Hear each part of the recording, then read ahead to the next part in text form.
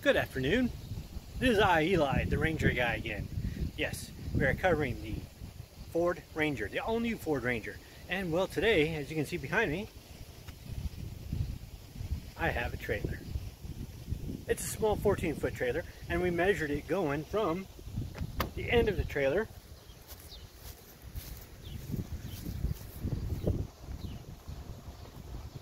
all the way to the tongue of the trailer. Yes, you want to get to the very end. Why? Because when you tow with the Ford Ranger, it's going to be important. Let's show you as to why. But let's cover a little bit of this 14 foot trailer we're hauling. It's got a 10 foot bed. Uh, it's only about a six foot high ceiling. Why? Because I have to duck down. No, I'm not six foot. Uh, it's probably a little shorter. I'm 5'8", and I have to duck down when I walk into this trailer. But either way, let's go over some of the basics on this trailer and we'll also cover some of the basics and weight and towing and everything else. Now I'm not an expert, just an everyday Joe showing you how to do things with the Ford Ranger and how it's working out for me. Okay, but let's go over some things with the trailer first.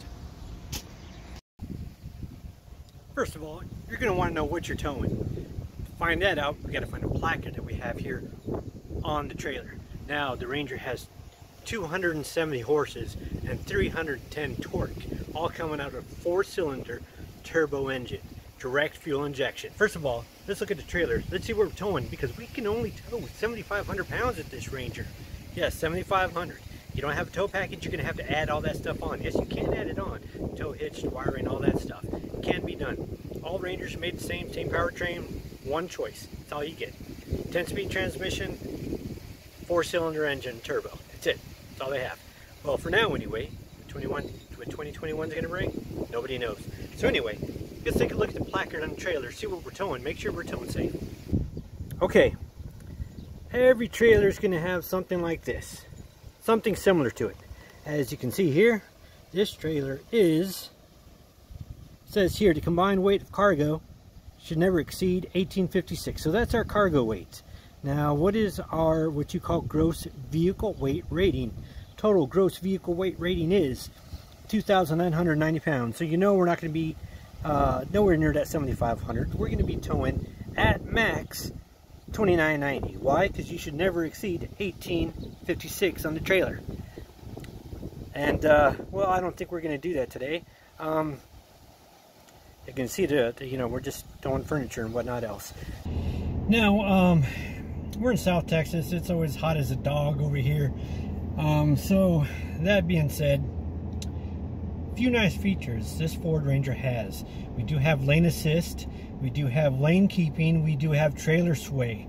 Um, all that, I'm going to go over it right now, show you the goodies we get when we tow with the Ford Ranger. All right, let's see here, let's go. One of the goodies we get with the Ford Ranger is right there. See that rear view camera? It's got this little black line. That's the center of the truck. You can, as you can see, it lines up with the ball and hitch. All right, right there. Of course, you got where the truck's going. As you see everything move, that's the way your tires, see those little white lines coming out? That's where your tires are kind of angled and that's how the rear end's gonna go. I cheated a little bit for this video, so right now we're just gonna go straight back. Okay, here we go. Let's go straight back.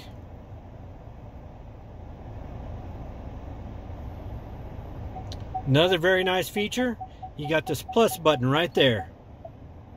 Look at that. Ball and hitch right there. Let's line it up. Let's get her connected. All right there. All right, we got it. Another thing, make sure you have the right equipment. Make sure your tow hitch can tow up to that. Make sure your ball and whatever it is you stick in there, your uh, your ball and hitch, make sure they can uh, hold up to that 7,500 pounds or make sure they can hold the weight of whatever it is you're carrying. Okay, I have here a U-Haul hitch right here. And um, it says here, max load, 6,000 pounds. Tongue weight, 600 pounds. So that should be on your trailer, 10% of whatever it is that you have on the trailer. So if you have a 7,500 pound trailer, you should have about a tongue weight of 750 pounds. So you can see this does not meet, uh, well, the truck can do a lot more than that, but this is what this does. If you want to get yourself a Gen Y, uh, I know they are whatever, or CURT, whatever other brand you want, you can. So if you're going to tow 7,500 pounds with these uh, Ford Ranger, you're going to want one that can do at least 7,500. This only does six. Our ball here on top, it's upside down, but it only does six as well. So we're well within our weight limits. Remember, tow safe, my friends. Not only that, let's see what this is a Draw-Tite draw tight hitch that I had put on here. There you go. And there's all the specs for it right there. 7,500 pounds. Uh, let's see, max tongue weight with weight distributing hitch, 1125.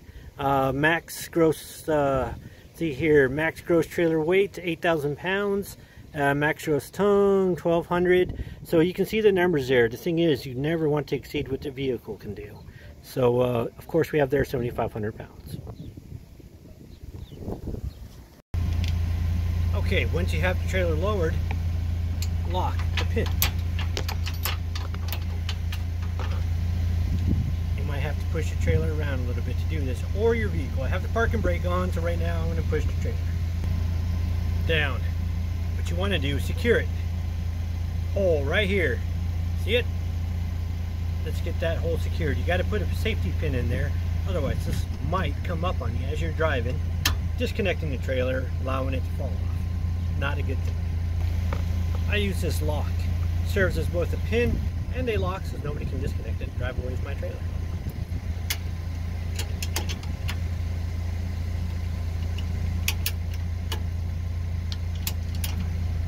Don't lose your keys. Okay, let's get some safety chains hooked up. What you're want to do is this side here, connect it to the other side. Now there's two points I can connect from.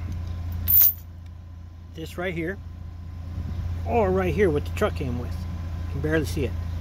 And what I'm going to do is it's on this side, I'm to hook up to the other side, but to the vehicle itself. Take the other chains, here we go. Same thing.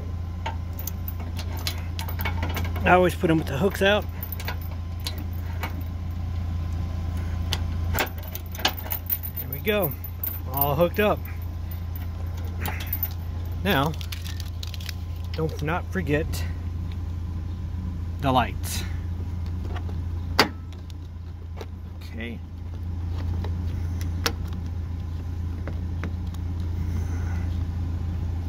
All right, lights hooked up. What I always do is have a buddy help me check out the lights. Don't have one right now, but as you can see, I got the lights on and the emergency blinkers. Everything is blinking. Make sure your marking lights are on, which as you can see, they are. Hope you can see that. I can't see it because of the glare, but I can see of uh, when I turn around. Same thing the other side. Go ahead, sure everything's working. Once they work, good to go. Okay, I'm fighting with the sun right now. But, here, let's get you to, there's your blind spot. That's why you need the trailer links. It works with the trailer, that's why it's asking for trailer links. The mirrors are kind of small. I'm going to give you some driving impressions here a little bit later on and tell you a little bit more about it. Car cross traffic when you back up is turned off because, well, you got a trailer back there. Driver alert, you can keep that on. Lane keeping works with the trailer. You can set all that. Rear park aid. Well, we have a trailer connected, so of course it's disconnected. Tire pressures. Well, I keep track of my tire pressures when I tow. There it is, trailer sway. What that does, like I said, you have the the dog, the tail wagging the dog, this will apply brakes to prevent the sway. Best way to do that is drive safe.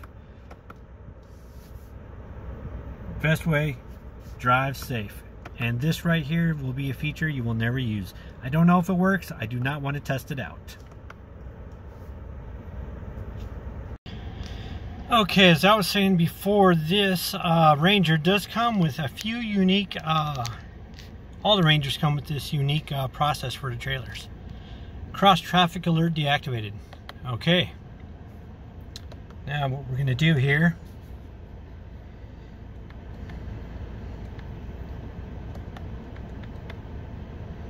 we're going to go to blind spot. It's already programmed in my Ford Ranger. But what you're going to want to do here is when you first connect your trailer, first time I ever did it, as you can see here, it's under, that's driver assist, blind spot, trailer, and trailer lengths. That one right there, you can adjust whatever trailer you like. See that? I have trailer A, B, and C. Um, I do haul those two trailers frequently, so uh, I'm hauling 15 foot more than anything else, so that's what I put in. What you're going to do here is trailer. It doesn't know what trailer I have, so if I'm hauling trailer B, I just hit B, but I'm not. I'm hauling, hauling trailer A, so I hit A. Now, trailer lengths, if you were to reset this, you can go to trailer A. We do have a 14 foot trailer. All I got to do here is a foot in width or, or less? Yes. Okay, to confirm, tire length, trailer length 33 or less? Yes.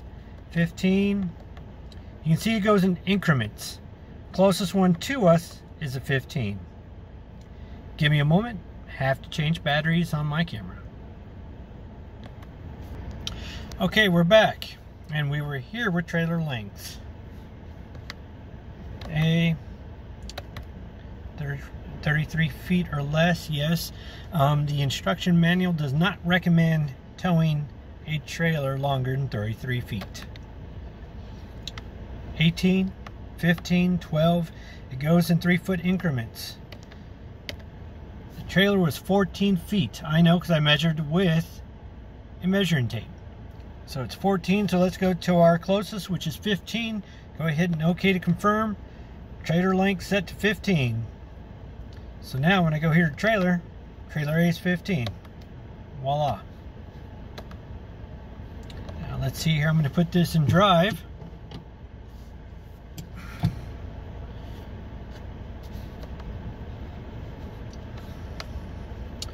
Am towing in tow/haul mode. So there we go. Now we are ready to drive a trailer. Okay, so um, I just filled up with gas right now and uh, getting back on the expressway. Um, drove a few miles, just getting until traffic just kind of stabilized and uh, made sure my load was okay. It wasn't, uh, not in the bed anyway, so uh, went ahead and secured that and uh, that's fixed. Chains are good, everything's good, lights are good. So back on the road and some impressions on the vehicle. Um, first of all, I mean, this thing's great. Um, go down the road and came up to some uh, construction on the expressway. Well, had to slow down. As I hit the brake, the engine automatically downshifts for me. I am in tow mode, and the engine downshifted for me. So uh, helping helping me use the engine transmission to help brake. So that was real nice. Uh, really enjoy it. Um, yes, it's a short trailer. I know that. It's not that much weight. Um, it's not over 3,000 pounds anyway. Uh, if I were doing more than 3,000 pounds, I would definitely want some type of surge brake, electronic brake, you know, electric brake, you know, something like that.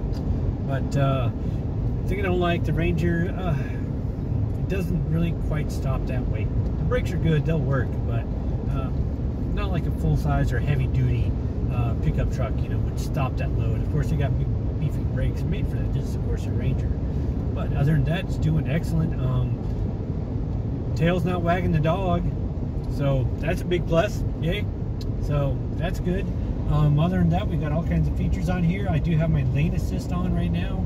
Uh, I, I, do have my uh, computer here in front, uh, measured the uh, trailer length for me. Uh, I, I, had to input the information for the trailer length.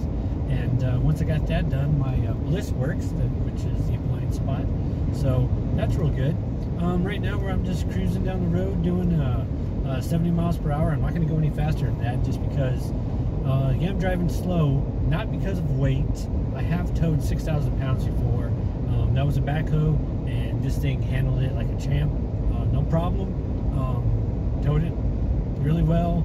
Uh, had surge brakes. Awesome towing experience.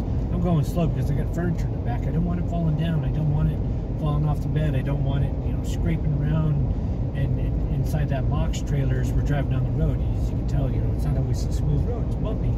So I'm trying to take care of the furniture. You know, I wanted to get home one piece. So uh, that being said, it's driving really good. Goes up the hills really well. Um, turbo definitely kicks in. Gas mileage, uh, don't worry about gas mileage. Pickup truck, you're towing. Uh, I'm getting about 13. So yeah, that's the way it is. Other than that, it's uh, really nice. Handles good. Road gets you know, those little waves in there, you can feel the trailer kind of pull you. So the trailer starts to move and kind of you do this little rocking motion with the trailer pulling and tugging on the, the vehicle, and the vehicle trying to tug on the trailer. So it doesn't quite do it in unison. So you get that. Uh, might change for different trailers, uh, different trailer trailer lengths, things of that nature. Science. I'm not going to get into it, but uh, other than that, doing pretty good. Uh, anything else pops up, I'll let you know. Been a very long day. I'm here with my uh, Ford Ranger, and uh, well, I am helping my stepdaughter move. So, uh, what I have here is a small little box trailer. You can see it right there in the background. And well, you can see what I have here on the inside. I do have it fully loaded. How much weight? I don't know. Uh, the trailer carries 1,800 pounds. Gross GVR is um, 29.90 and it carries 1880 so that's what we're looking at. My pickup truck is also, uh, I got some very heavy pellets on the bottom. I got this, uh, I made that little crafty uh, thing there. It's a uh, balcony bar. Hang it over a balcony, as you see up there. Uh, it hangs over and then it makes a table, creating a bar. So, and that's a bed frame that did not fit inside of here. It did, but uh, I had to take everything out had to take it in slanted and then make it go up. So I already had everything in there and yeah, I wasn't gonna move it out and then do that. I figured, hey, put it on top of the Ranger. That's where the balcony bar was gonna go anyway. So it's not going to go anywhere. Um, I have to hook up my trailer. Um, I am, uh, I got the bar on there. I'm very exhausted. Please excuse uh, the sweat and uh, whatnot else, but it's very tiresome. But we are gonna go on a road trip. Um, I did carry this trailer empty and about 600 pounds of mesquite just yesterday. Uh, rode really well. Um, the 500 pounds in the bed made this truck go from jumpy to ran like a Cadillac. Really enjoyed the ride. Oh, I, I do have some of the inside. Um, let's see here.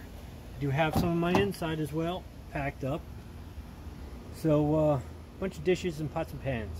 So I am pretty loaded and we're gonna take this out on a road trip. I am in Austin, Texas. I got about four hour drive ahead of me, so we're gonna go ahead and see how this drives. It is about uh, 6.18 in the afternoon. So uh, we're gonna go ahead and get the trailer connected and uh, see how she does. Um, I can tell you she probably will squat a little bit. Um, let's see here. Okay, we're back. I have, uh, let's see here. I'm going to measure from the center of the hub to wherever they go straight up.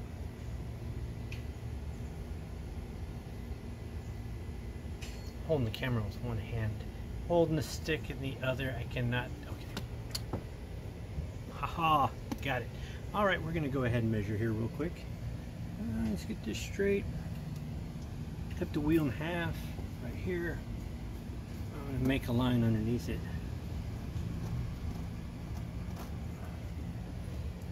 Okay, and there's our line. Okay, we're gonna call that before. I know I got a little bit of weight in here. Uh, I probably got about 300 pounds in the vehicle total, maybe.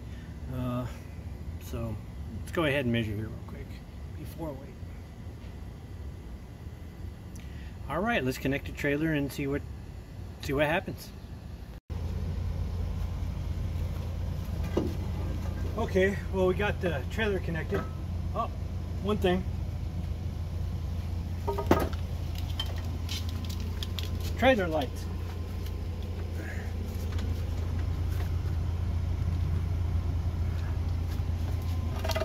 And we said let there be light. And for trailers it was good. Let's check out the squat. I don't know how much weight's in there, I just know we packed it. This is the original line. We go again in the middle. Cut the tire in half, right down the axle right there.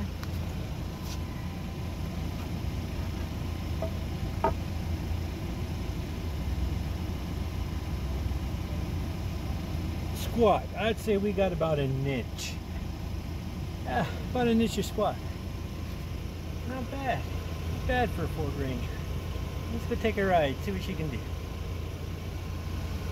Okay, so those are some uh, small basics of towing. Um, remember, when you tow, uh, especially, uh, well, just towing in general, make sure that all your equipment matches. Uh, the Ford Ranger is rated for 7,500 pounds to tow. Um, payload is a little different depending what, what kind of model you have. Um, I'm not going to go into a big lengthy discussion as in payload and towing capacity. I'll, I'll, there's a lot of videos out there you can kind of kind of figure it out.